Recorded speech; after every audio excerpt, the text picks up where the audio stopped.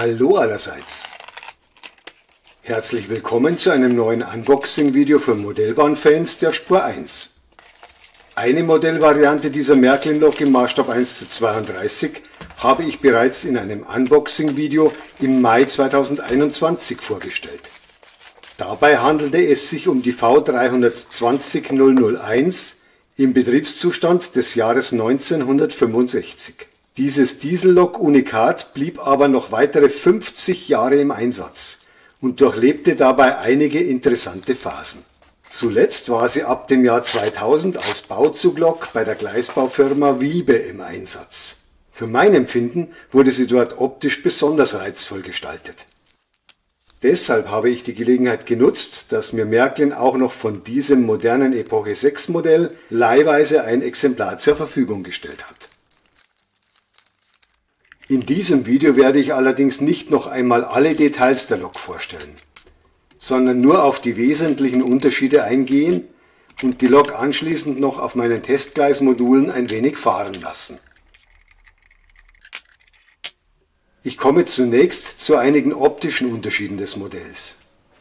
Ab Werk sind vorne wieder eine Vorbildschraubkupplung, Bremsschläuche, zwei Trittstufen und ein Druckbehälter montiert. Zusätzlich befindet sich an diesem Modell am vorderen Drehgestell ein Schienenräumer. Hinten ist ab Werk wieder eine elektrisch schaltbare Telex-Kupplung montiert.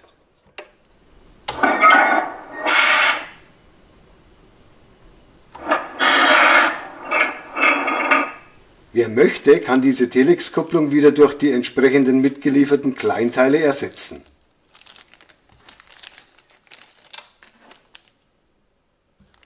Und andererseits liegt auch für vorne eine Telex-Kupplung bei, die man montieren kann, wenn die entsprechenden Vorbildteile an der Lokfront abgenommen werden. Und noch in einem weiteren Detail unterscheidet sich diese Lok von der Epoche 3 Modellausführung. Ursprünglich gab es nämlich keine Windabweiser für die Seitenfenster der Führerstände. Hier liegen in einem Beutelchen vier Windabweiser bei, die ich jetzt gleich mal in die entsprechenden Halterungen einsetzen werde.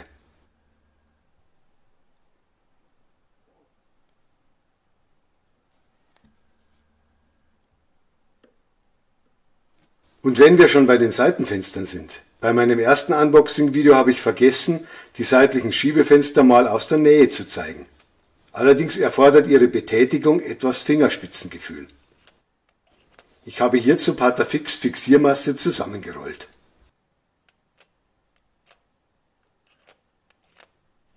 Ein paar weitere Unterschiede offenbaren sich noch beim Blick in die Führerstände.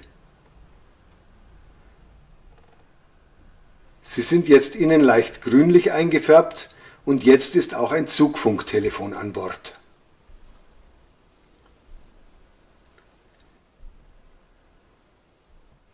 Durch das Mittelfenster des Maschinenraums sieht man außerdem, dass nun innen deutlich mehr Platz ist. Wohl weil die V320 bereits ab 1975 nur noch im Güterzugdienst war und deshalb die ganze Zugheizung entfernt wurde. Zu guter Letzt noch schnell die weiteren beiliegenden Kleinteile, die aber auch schon bei der anderen Lok mitgeliefert wurden. Das sind die filigranen Nachbildungen der Wassereinfüllstutzen über den Drehgestellen. Sie können aber nur montiert werden, wenn die Lok nicht wie bei mir jetzt anschließend durch enge Gleisradien fahren muss. Jetzt zu ein paar wenigen Unterschieden bei der Soundelektronik des Multiprotokoll-Digitaldecoders dieser Lok-Variante. Und während dieser Zeit zeige ich auch einige Rundum-Detailaufnahmen des Modells. Anstelle der Multibahnhofs-Haltestellenansage des Epoche 3 Modells hat die Bauzuglok einen zusätzlichen Rangierpfiff. Anstelle des Schaffnerpfiffs gibt es ein Signalhorn. Und anstelle der Bahnhofsumgebungsgeräusche hat Märklin in diesem Decoder eine kleine gesprochene Arbeitsanweisung abgespeichert. Also Männer, 40 Meter haben wir noch vor uns. Wenn es weiter so läuft, könnte es was werden mit dem pünktlichen Feierabend. Wer alle Geräusche des Modells einzeln der Reihe nach hören will, sollte den jetzt hier im Video erscheinenden eingeblendeten Link zu meinem Unboxing-Video der V320 001 aufrufen. Die Ansage mit den Lok-Vorbildangaben wurde leider nicht geändert. Ich spiele sie aber trotzdem ab, weil vom Epoche 6 Modell noch einiges sehenswert ist. 1956 begann die Firma Henschel mit der Konstruktion der mit 23 Metern Länge und 122 Tonnen Gewicht bis heute größten und stärksten dieselhydraulischen Lok Europas.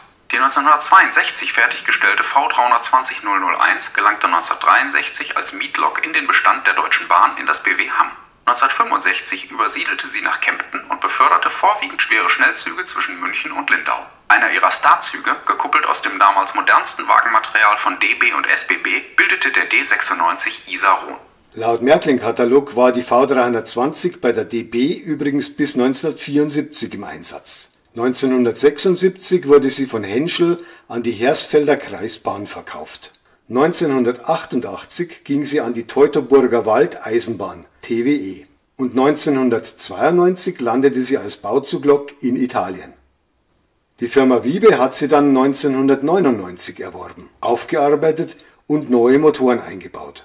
Dort war sie ab dem Jahr 2000 bis 2015 als Bauzuglok Wiebe Nummer 7 im Einsatz. Danach wurde sie aber nicht verschrottet, sondern landete 2017 in den Henschel-Werken in Kassel, die heute zum Bombardier-Konzern gehören.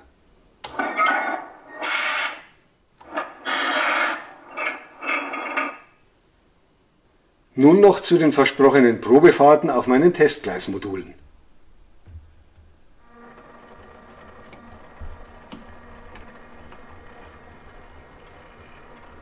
Zunächst zeige ich die etwas mehr als 9,2 Kilogramm schwere Lok mal ohne Sound in der niedrigsten Fahrstufe.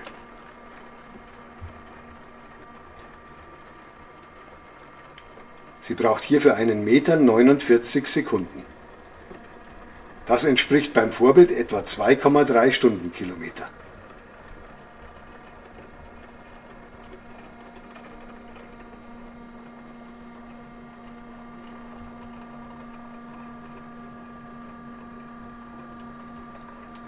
Wie man hier schön sieht, meistert sie trotz ihrer Länge von 719 mm selbst Weichen mit nur 1020 mm Radius recht gut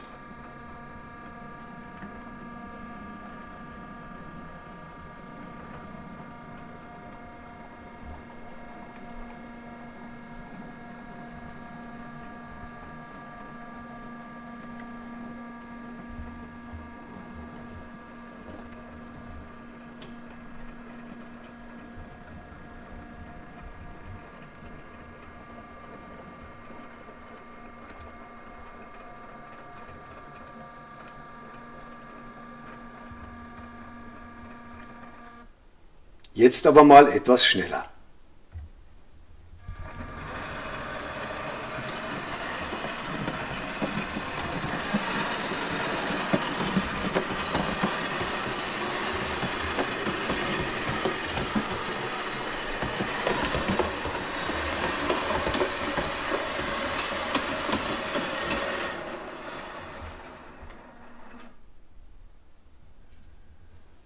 Und nun noch mit einer höheren Beschleunigung.